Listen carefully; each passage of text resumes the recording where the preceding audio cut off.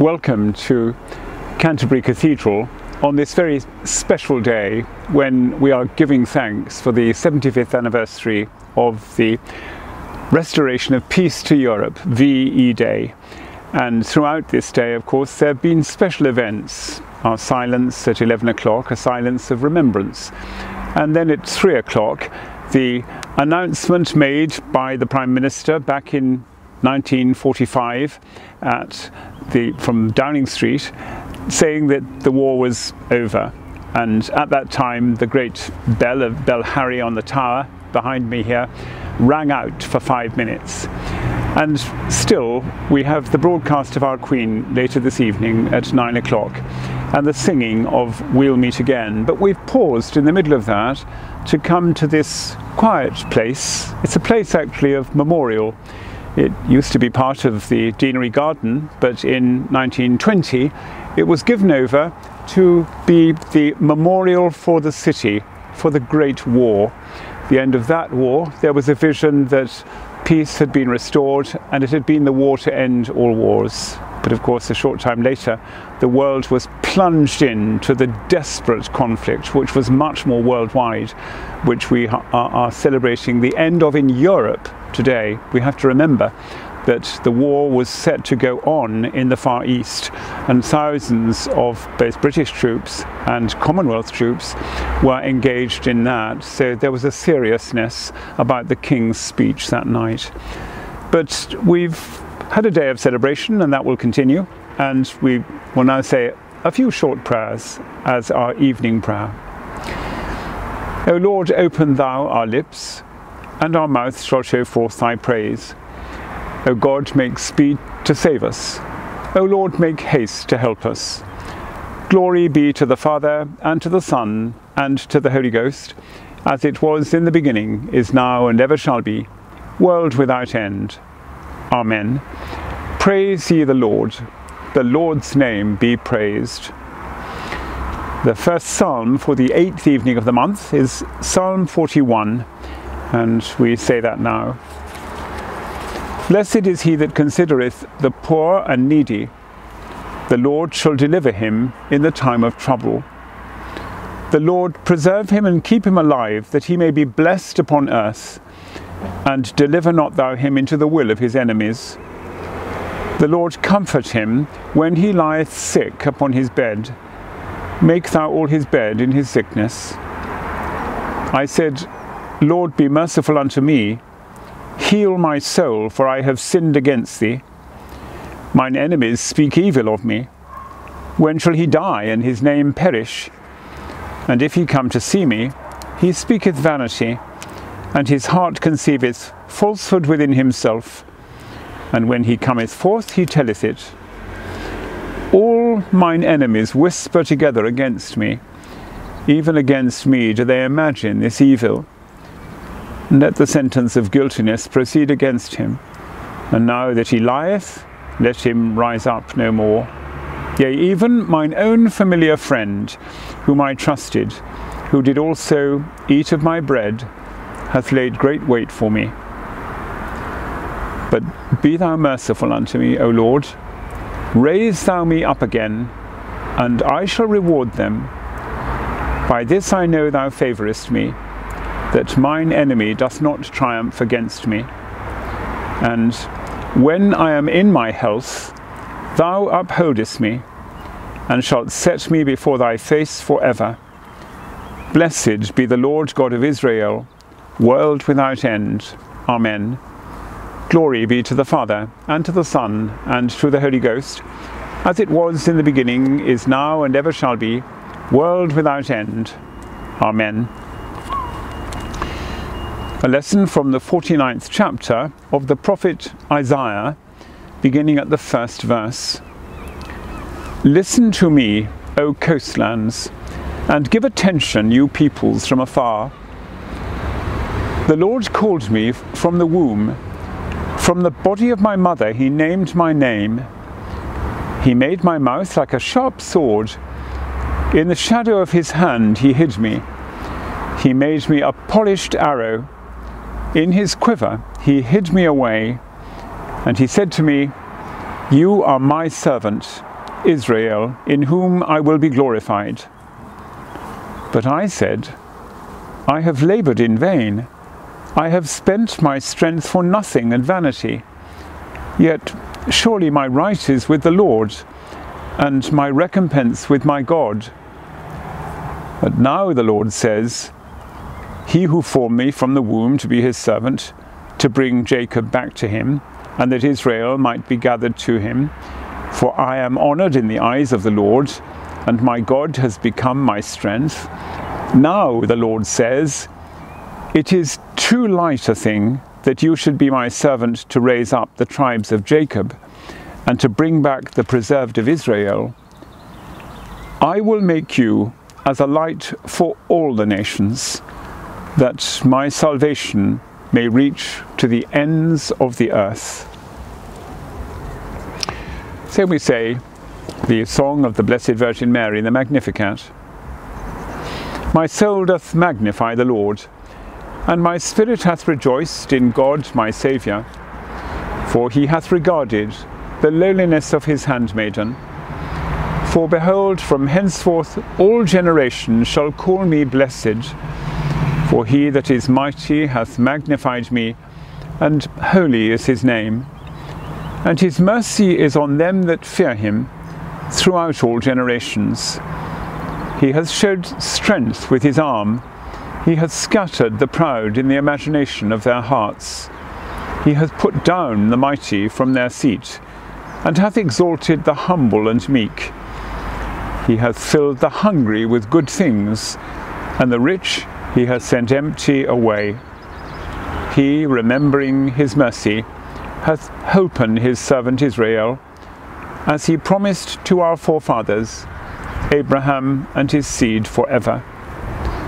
Glory be to the Father, and to the Son, and to the Holy Ghost, as it was in the beginning, is now, and ever shall be, world without end. Amen. Our second lesson is written in the Gospel of St. Matthew, the fifth chapter, beginning at the 13th verse. It's part of what we normally know as the Sermon on the Mount. Jesus said, You are the salt of the earth, but if salt has lost its flavour, how shall its saltiness be restored? It is no longer good for anything except to be thrown out and trampled underfoot. You are the light of the world. A city set on a hill cannot be hidden nor do people light a lamp and put it under a basket, but on a stand, and it gives light to all in the house. In the same way, let your light shine before others, so that they may see your good works and give glory to your Father who is in heaven. Many of you will have joined us for morning prayer on this VE day. And on that occasion, I found myself on the roof of the deanery, looking out onto the peaceful scene set round me and comparing it to what my predecessor would have seen on May the 8th, 1945, a scene of great destruction and a scene in need of years of patient rebuilding and new resources. This afternoon we come to a place of quiet memorial, but something rather wonderful happened this morning when we were on the roof. We were suddenly surrounded by the enormous speed of a flight of swifts who had arrived on their long journey from Africa with the screaming cries which the swifts had with their, their bow-like wings as they fly around you. So swift you can hardly see them. They live on the wing except when they're nesting. It was a wonderful scene of great joy. They wheeled around us and one was reminded by their shape of the citizens of Kent in those years of 1940 and 41 looking up into the sky and seeing Spitfires of that kind of shape wheeling around in the blue sky.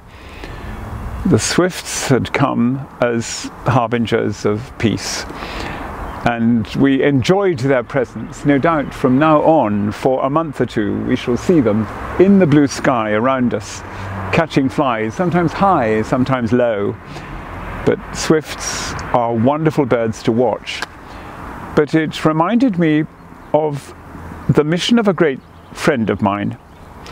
His name is Mark Coreth, and he is a sculptor of creatures, of birds and animals, and does so wonderfully well, but has a great burden for the preservation and the life of our planet.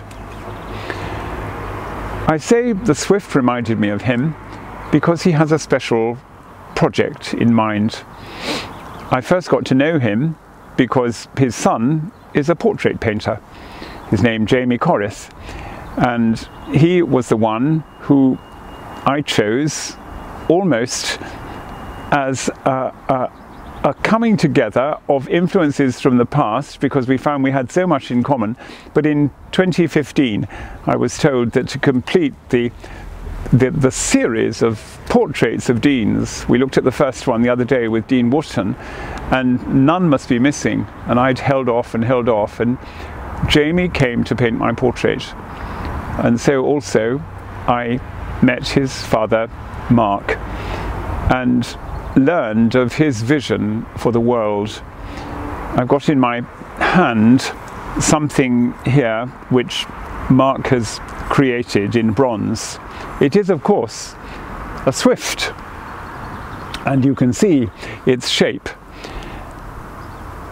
Mark has a vision because he was asked by the Order of St. John of Jerusalem, with which I've had long connections, to provide for their eye clinic right in the heart of Jerusalem at Muristan, that holy city, which is holy to Jews and to Christians and to Muslims alike, to provide some piece of sculpture which spoke of unity and understanding and Mark had no idea what it would be until he went for the first time to Jerusalem, I think in 2016, and he found that as he went around the Holy Land, olive trees were everywhere.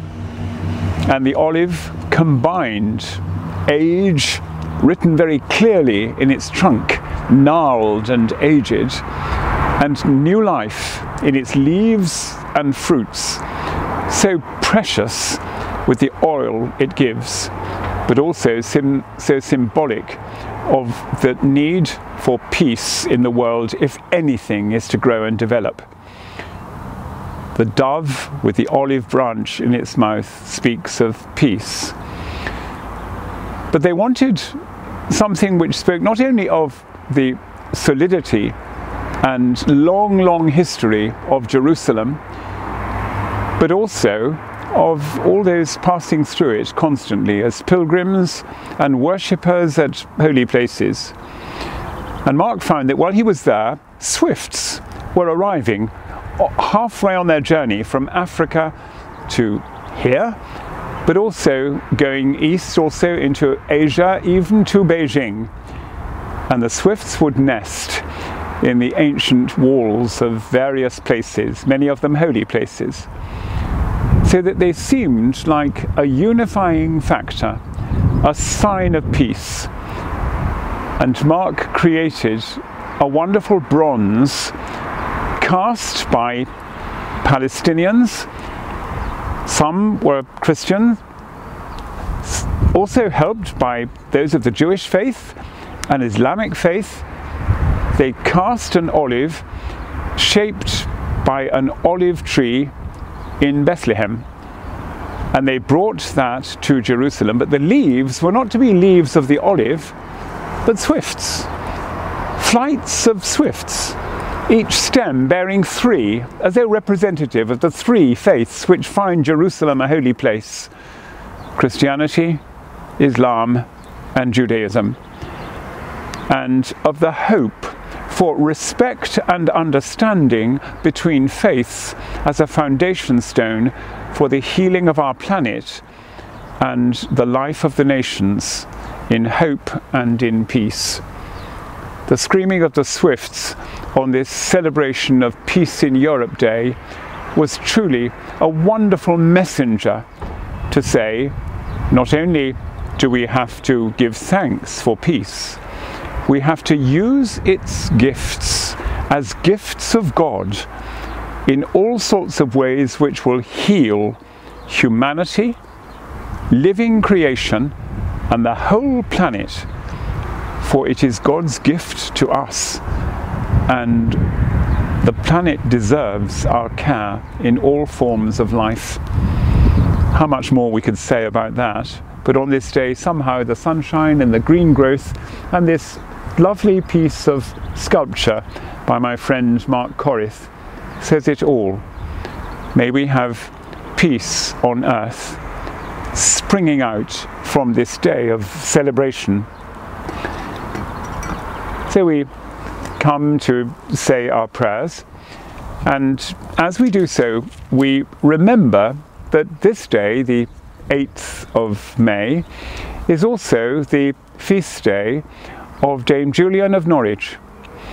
Far be it from me, as Dean of Canterbury, to speak about her, because one of my canons, Canon Emma Pennington, our canon missioner, is a great expert on Julian of Norwich, and she has just written the most lovely book about her.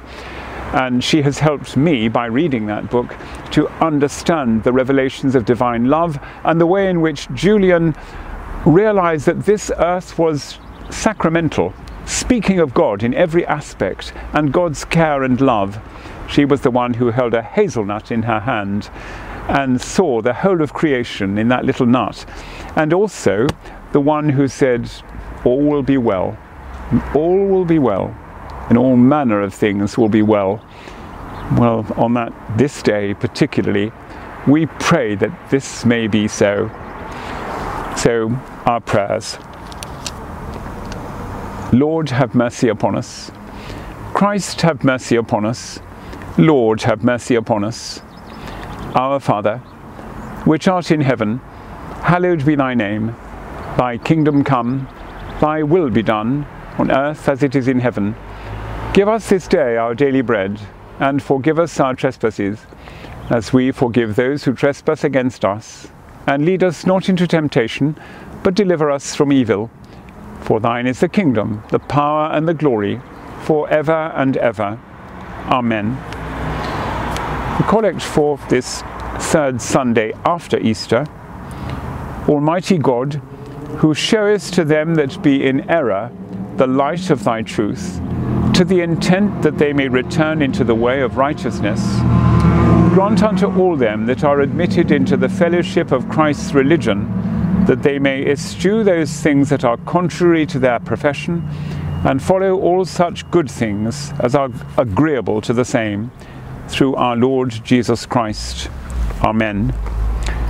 And the prayer special to this day of Julian of Norwich. Most holy God, the ground of our beseeching, who through your servant Julian revealed the wonders of your love, Grant that as we are created in your nature and restored by your grace, our wills may be so made one with yours that we may come to see you face to face and gaze on you forever. Through Jesus Christ our Lord. Amen. So, a moment of silence for our own prayers, in which we pray for our own journey like the swifts, journeying constantly, but hopefully harbingers of peace and healing and wholesome things to whomsoever we shall meet. Pray for those whom we know need our prayers at this time, a time of lockdown, but also a time of people in our hearts that we've read about, seen on televisions and newspapers who need our prayers and need our help at this time and every encouragement, and constantly to pray for those whom we love. We hold silence for a moment.